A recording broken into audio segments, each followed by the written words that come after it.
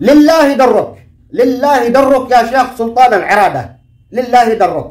إي والله فقد صدق فيك القول. يد تبني ويد تحمي لله درك. لن تكتفي قط بمردغة أرتال الحوثيين وجحافلهم وزنابيلهم بل أنت يد تحمي ويد تبني. آخر مشاريع الشيخ سلطان العرادة في مأرب افتتاح مدينة طبية. قلنا لكم هذا هذا هو هو رجل دولة فعلا. هذا العرادة أنا أرى فيه تقوى الله وأرى فيه صلاح للبلاد والعباد. أشهد لله. أشهد لله. أنا ما أناش مطبل ولا أحب التطبيل. لكن العرادة هذا هو الأفضل بين كل الموجودين الآن على الساحة اليمنية. والله العظيم. يعني الأمن والأمان الكهرباء المجانية للبيوت البترول. عاد الله رفع سعره الحين قريب بسبب يعني أزمة إيقاف تصدير النفط اللي افتعلها الحوثي. عادوا رفع السعر الله قريب. كان السعر حق البترول ب 3005 طوال السنوات الماضية. وكان بمقدورة يكون نذل وجشع ويبيع الدبة ب 30000 وهو بمأرب مأرب حيث النفط. إلا إنه لأن فيه تقوى الله استمر ببيع البترول بثلاثة وخمس. والكهرباء قادر ما يخلص المواطن ينخلص زي ما السرق اللي آه في تعز. السلطة اللي, اللي تستفيد تجني من, ظهر المواطن تقتله بالكهرباء وحتى بسعر الروتي الروتي ما سلم منهم. تمام؟ هذول أنا لا يمكن أطبل لهم. حتى يعتدلوا ويقعوا رجال زي العرادة. العرادة قادر ما يخلص الناس حق الكهرباء خلص اللي بالبيوت. ومعاكم ما يقارب خمسة مليون مواطن في مأرب موجودين. من من مختلف المحافظات اليمنية. من أنحاء الجمهورية اليمنية. قادر ما يسلخ خمسة ويجني مليارات. ولكن لا. داري بوضع الناس ويراعي أوضاع الناس. الكهرباء للبيوت مجانية. معاكم محلات تجارية تدفعوا. لله دره. لله درك يا شيخ سلطان العرادة. ما أجمل المرء عندما يكون فيه تقوى الله. مش بالضرورة أن يكون الحاكم عنده لحية ومطوع والمسبحة بيده ليل بنهار. لا لا لا. التقوى تقوى الله هي بالقلب. هي بالقلب. فهم لكم؟ تقوى الله هنا بالقلب والعرادة فيه تقوى الله داخل قلبه. المظاهر أنا لا تعنيني. حتى مظهر العرادة نفسه شخصيته مطمنة مطمنة. اي رب الكعبة؟ عندما أشوف إلى وجه العرادة أشعر بارتياح له يعني. ما ما ما أشعرش إنه مذنب. أما البقية أعوذ بالله إلا من رحم ربي. أمانة وجوه تلعن بعضها. والله لو بيدهم يبيعوا الأكسجين بالسوق السوداء لا يبيعوا. والله أقسم بالله لو بيدهم يبيعوا التنفس. اللي نتنفسه بالسوق السوداء والله لا يبيعوه بالسوق السوداء. هذول يمز الضبابي ويقولوا له طير. سواء الحوثة أو الشرعية باستثناء مأرب وقيادتها. باستثناء مأرب وقيادتها. أما الحوثة ما هذولك عادهم إلا بلاعة طافحة كذاك وما فيش مجال للمقارنة. هو شوفوا مشكلتنا إحنا مع الحوثة عقيدتهم وخزعبلاتهم وتبعيتهم العمياء لإيران. المعادية للعرب. تمام؟ هذه مشكلتنا معهم ودخولهم بديننا وتحريف المناهج وتعديلها بخزعبلات وطائفية. هذا هو خلافنا معهم. إن معهم دين جديد. معهم نظام حكم سلالي. إنه لازم نحبب الركب. هذا هو خلافنا معهم. أما بالنسبة للمسرقه فقد تساوى الطرفان بالسرق والنصب والفيد محافظ تعز الناس لهم سنوات. يقولوا له نشي كهرباء. السلطة بتعز يقولوا لهم نشي كهرباء اخرتها يقوم يرفع سعر الروتي أنا والله لا احمله المسؤوليه يتحمل المسؤوليه الإصلاح والمؤتمر والأحزاب الأخرى. اللي متحاصصين داخل تعز. أنتم تتحملوا المسؤولية لأنكم رضيتم تمرروا هذا القرار. ورضاءكم بتمريره وأنتم قادرين أنكم ترفضوا معناته أنكم شركاء بهذه الجريمه اينكم من سلطان العرادة؟ شوفوا على مشاريع. مشاريع ومجمعات طبية ومرة حدائق مرة مأرب قادة جنة جنة. جنه أنتم تلهطوا ما عاد بقى الا الأكسجين تشفطوها علينا. وين بتروحوا الفلوس هذه كلها؟ وين؟ وين؟ هذا هذه المسراقه كلها والجبايات. قتلتم خلق الله والعسكري حق الجيش الوطني راتبه ستين ألف وعيطي والله العظيم ما أحد يرضي هذه الأيام يلطمك بستين الألف. لا بوش حد تقول له كاك الطمنا هذه ستين ألف نفدالك وجيح الكنع كاك الطمنا هذه ستين ألف. يقول لك روح لك. الطمك أنا بستين ألف أنا هبل وما هو من ستين عادة توصل خمسين. والله عاد يقع منا خصميات ومدري إيش توصل خمسين ألف. للعسكري الذي بيقاتل ويرابط هل ضحوا الناس من أجل؟ يقوم نبيل شمسان يرفع سعر الروتي. يا جماعة هي هذه الإساءة لتضحيات الشهداء. ورب الكعبة إن هي هذه الإساءة. هذه الإساءة والإذلال والإهانة والتحقير لتضحيات الشهداء. وكأني بهذه السلطة اللي بتعز تقول للمواطنين أو لأهالي الشهداء تستاهلوا. خليتم أولادكم يضحوا معنا. لذلك بنجعث والديكم بالجرعة هذه. نخلي عليكم البترول. ما في كهرباء. ما في شيء. يعني الناس لهم سنوات. في واحد اسمه نائف الوافي قتل نفسه. قتل نفسه وهو يناشد. الكهرباء. نريد كهرباء. الشمسي يعني الشمسي قد أنا راح له أشفق لحاله. ما في أحد وراه. قتل نفسه ما حد متبع له. وينكم يا أبناء عز؟ انظروا في مأرب كيف الوضع. الآن عد, عد كانوا مش راضين. أصحاب مأرب احمدوا ربكم واحدثوا جمل لما رفعوا البترول ل 8000 مدري كم. عند غيركم ب 30000 30000 ب 29000 ب 28000 والله ما أقول هذه الأسعار. احمدوا الله في مأرب احمدوا الله. واللي بالبيوت الكهرباء احمدوا الله. بلاش وما عاد تنقطع. نادرا ما يقع خلل أو إخفاقات بالكهرباء تستمر أسبوع وخلاص. ترجع الأمور آه، يعني آه، سلسة تماما بقية الشهور يعني. فاحمدوا الله على النعمة اللي أنتم فيها. رضي الله عنك يا سلطان العرادة. شوفوا هذا خبر إعلان افتتاح المدينة الطبية. تفضلوا. أعلن عضو مجلس القيادة الرئاسي محافظ مأرب اللواء سلطان العرادة عن إنشاء مدينة طبية في محافظة مأرب تضم إلى تضم إلى جانب هيئة مستشفى مأرب العام والمراكز المتخصصة مستشفى جامعيا مرتبطا بكلية الطب في جامعة إقليم سبأ مشيرا إلى أنه سيتم بناء كلية الطب والمستشفى الجامعي بتمويل من البرنامج السعودي لتنمية وأعمار اليمن. جاء ذلك في كلمته التي ألقاها خلال الجلسة الافتتاحية للمؤتمر الطبي الأول بعنوان البحث الطبي ضرورة عصرية الذي تنظمه كلية الطب بجامعة إقليم سبأ بالشراكة مع المجلس اليمني للاختصاصات الطبية والصحية بمحافظة مأرب. تزامنا مع احتفالات شعبنا بالعيد الوطني الرابع والثلاثين لإعادة تحقيق الوحدة اليمنية. طبعا أيضا هذه كلمة للشيخ سلطان العراد الذي صدق فيه القول يد تبني ويد تحمي. هذه كلمته اسمعوها. فأعلق عليها تعليق مهم للمقارنة بين خطاباته وتصريحاته وبين قومة الصلح الحوثيين وقادتهم. تفضلوا السلام عليكم ورحمة الله وبركاته. إنه لمن دواعي سروري أن أشارككم أعمال وفعاليات الجلسة الافتتاحية لمؤتمركم الطبي الأول الذي تنظمه جامعة إقليم سبأ بالشراكة مع المجلس اليمني للاختصاصات الطبية فرع مأرب الحضور الأكارم.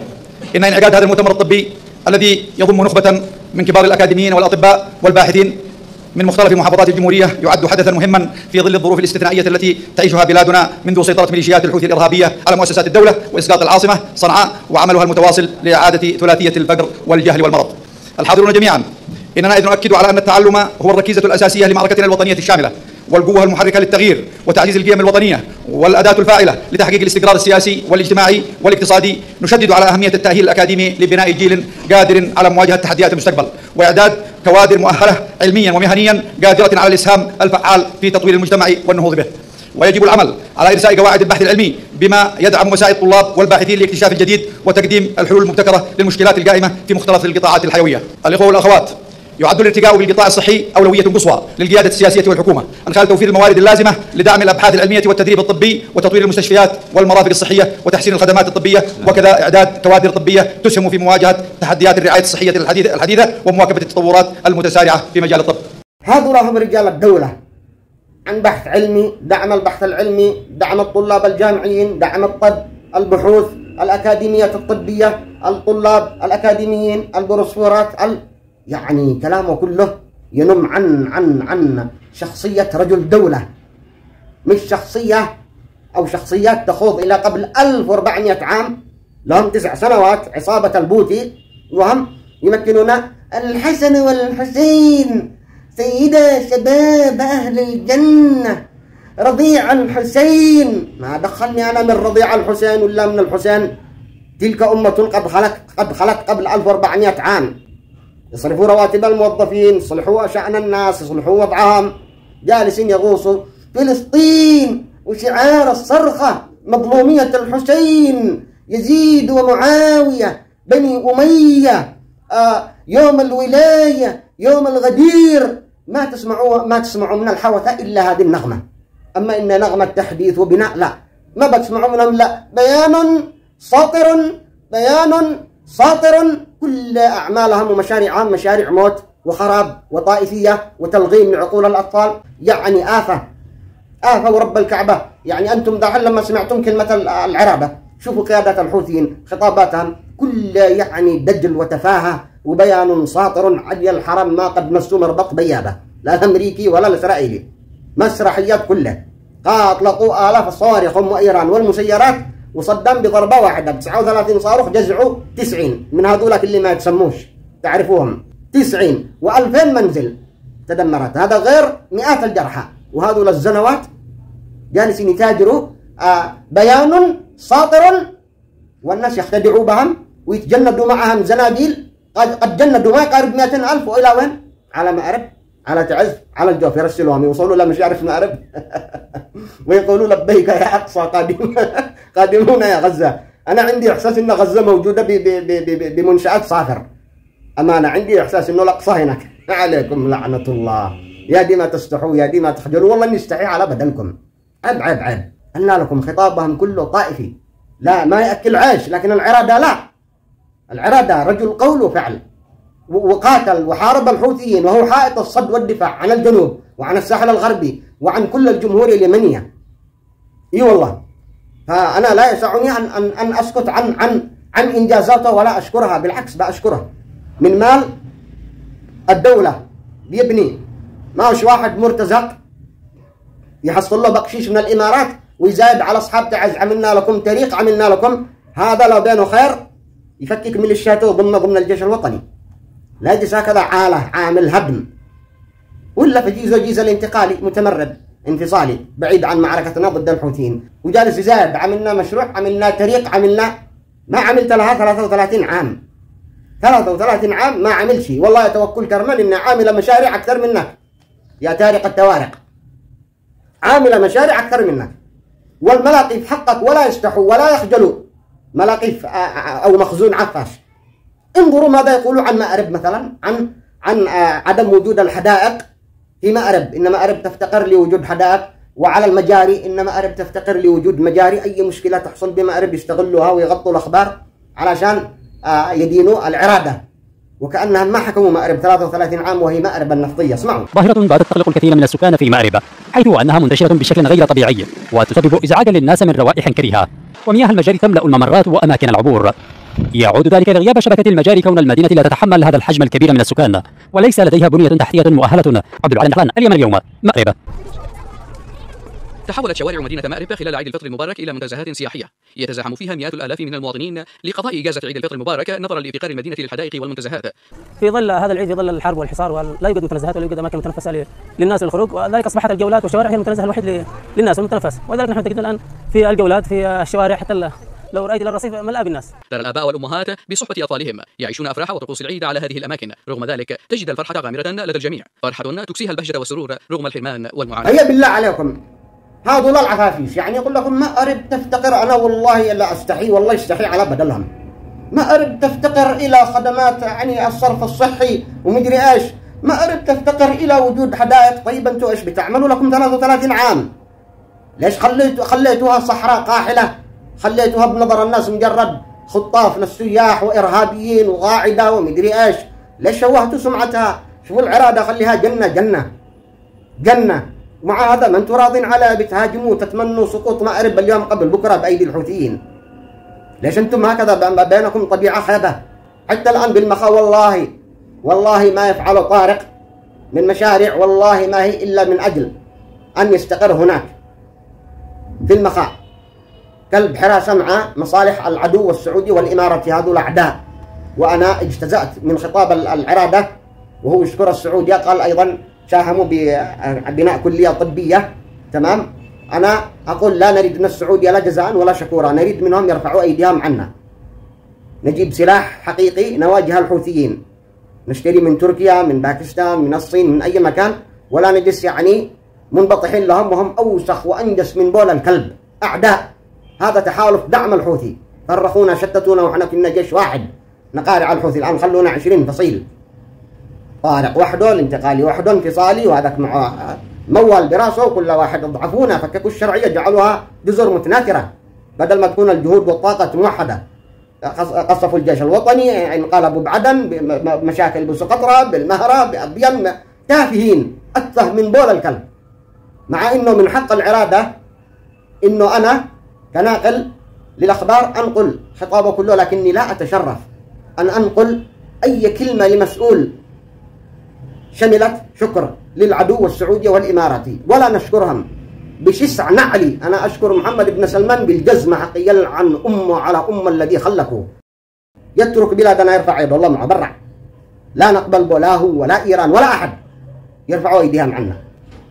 فإن كنا نحكي طارق طارق بيعمل المشاريع هذه مش علشان سواد عيون المخا وأهل المخا ولا تعز. هذا هذا شر محض. أي مشروع يجي ممول من السعودية أو الإمارات اعرفوا إن ثمنه دوس كرامتنا تحت الأقدام. خذوها قاعدة. خذوها قاعدة. لا نريد منهم لا جزاء ولا شكورا. عندنا ثروات وخيرات ونفط ومطارات وأطول شريط ساحلي. عندنا كل مقومات بناء دولة واقتصاد. يرفعوا أيديهم عنا. هذول مش حلفاء هذول أعداء. أعداء بالمفتوح. عموما تعظيم سلام للشيخ سلطان العرادة تعظيم سلام لك وللبطن اللي أنجبتك. يا سيد الرجال الله يحفظك ويطول بعمرك طالما أنت فيك تقوى الله. وأنا أدري أنك عندما تشكر السعودية والإمارات أنت دبلوماسي مرن ما أنتش ما صالح بن عديو حفظه الله أيضا. أنت مرن ولولا مرونتك هذه أنا أدرك أنهم قد قد يعني بيكونوا جزعوك غلطة. لكنهم يعني قدم اللحان بك حنبة لأنك دبلوماسي تساير الأمور. ومع ذلك أنا لا أستطيع أن أكتم الحق. أنا ما عندي لفو دوران ولا أنا عبد لا للإصلاح ولا لأي حزب. أنا ما بقلبي يدي هكذا على بلاطة. وأقول تعظيم سلام لك يا شيخ سلطان العرادة وأتمنى لو إن سلطة تعز أو اللي بيحكموا تعز بمستوى ركبتك حتى. قدهم رجال. لو يتمرجلوا ويقعوا بمستوى وحجم ركبتك إن قدهم رجال. لكن أسرق ما خلق ربي يعني يمز الذباب يقولوا له طير عليهم لعنة الله. الناس منتظرة لهم يشغلوا الكهرباء راحوا يرفعوا سعر الروتي عليك لعنة الله يا نبيل شمسان. ما صلعة صلعة ولا مدرج مطار. ما من أبوك فائدة. قبلوا تحياتي. اعملوا لايك للفيديو.